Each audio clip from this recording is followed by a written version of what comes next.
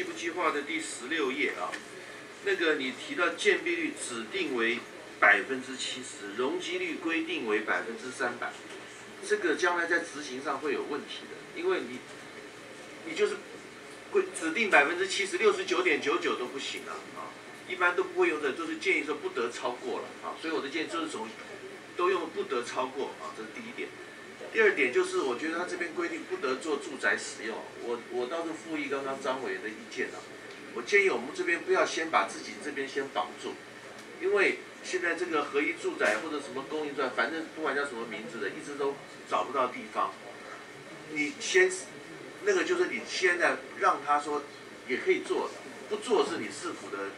权利，但是如果哪天市府的政策觉得这边上面要真的在做住宅的时候，至少还有那个弹性，不要再为了那个事情再去修这个西部计划以上。啊，主席，这个简报二十五页，这刮胡山哈，刮胡山，这建营建筑基地比邻门甲大道，应留设宽七公尺以上之基地内通的。啊，这个依照技术规则，建筑技术规则，我们市场属于特定建筑，应该留八公尺。那我是建议说，改成八公尺的，啊，以上就不要了。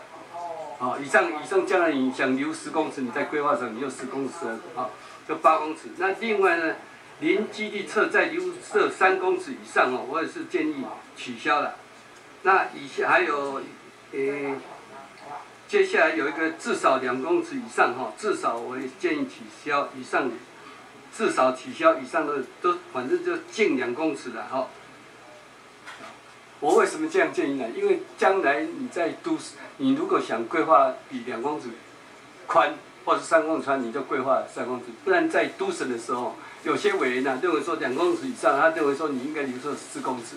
那你原先都规划好的两公尺规划好，那他建议你留设四公尺，等于是都要重新来改了。我想这个这个数据要一个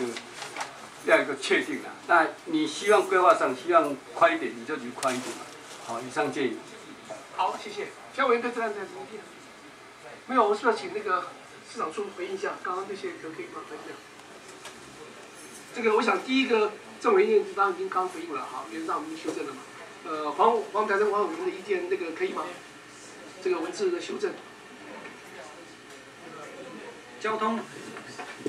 有关那个黄委员的一些建议，就是有这个部分，我觉得都我们都可以可以可以修正，OK，可以修正。呃，那张国林委员跟托中华委员其实有一个呃，有意建议说住宅不得做出来使用这个不设限这件事情，当时一个回应。第二个，当托中我们特别提到不应该不得到，这当时发展局要要做说明，好不好？呃，这个当罗罗小伟对交通有做说明，那刚刚黄黄黄委员对那个这个公司那个要先上诉先做同状嘛？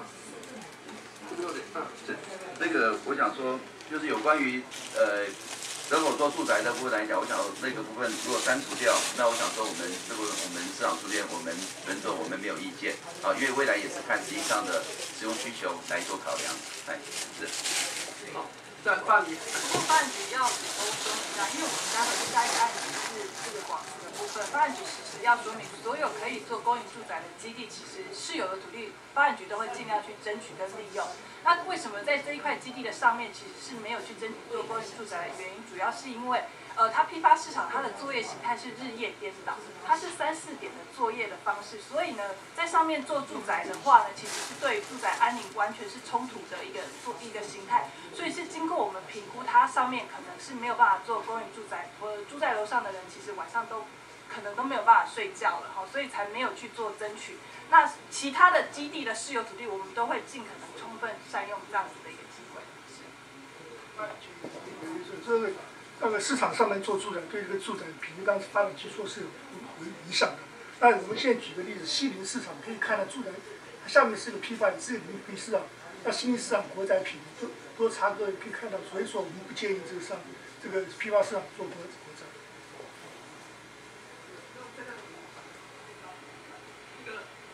呃，还有什么需要补充？哎，这主席哈，刚刚那个汪委提到说那个七公尺改八公尺的部分哈，那么图说我稍微有有看过了哈，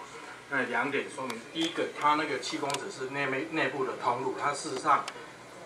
是真正基地面临的道路是应该是蒙甲大道，那个八公尺绝对是不够。那我会讲这个，就是因为在跟我们沟通的过程里面，因为它那个七公尺前面是退缩，呃，七公尺这边还有一个三公尺的部分，那原来是两公尺半或是两一点五公尺，那那个结构是不是够收？再调整到八公尺够不够？我想那建筑师应该要说明一下。我我不反对说八公，不反对说那个啊、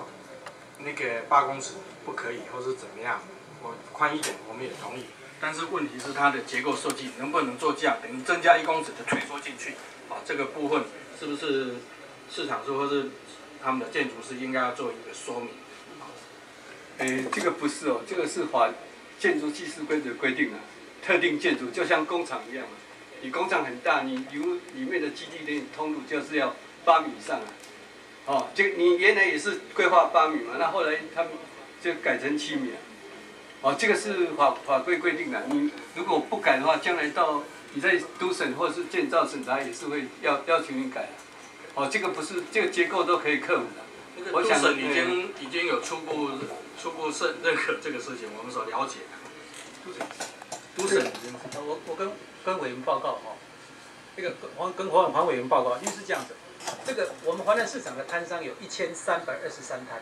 那在跟摊商沟通过程过程当中，摊商几乎依照他们的营运需求，都几乎希望留在地面上，对他们来讲，营运是最最需求是最大的。所以在整个地面上的来讲哦，大概呃，以基地内通路，我现在目前来讲都是依照在一百年十一月十九号跟交通局研商的结果，事实上是以七米的话构成一个所谓的西江路、黄河南路、蒙甲大道一个环状的一个道路，这样的一个交通流量来讲的话，就已经足够这样的一个一个需求。如果说在这样子以到叫如果说以工厂这样的一个呃方式来退缩八米的话，事实上。嗯，对我们的一个整个来讲，可能会有影响更大的一个摊位会往地下室往二楼搬，那这样会整个一个对整个营业来讲可能不是很适当，所以就更建议黄委说，是不是维持这样的一个园艺的方式？谢谢。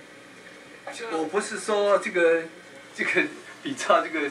这个工厂，我是说这个建筑技师规则里面基地内通路，你设施特定建筑就是要八米以上。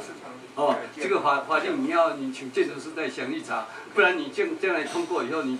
你规划好了设计好了，到建造的时候没有过，还不是一样？哦，就我是建议啊，哈。那个那个，发展局有要补充吗？或监管处？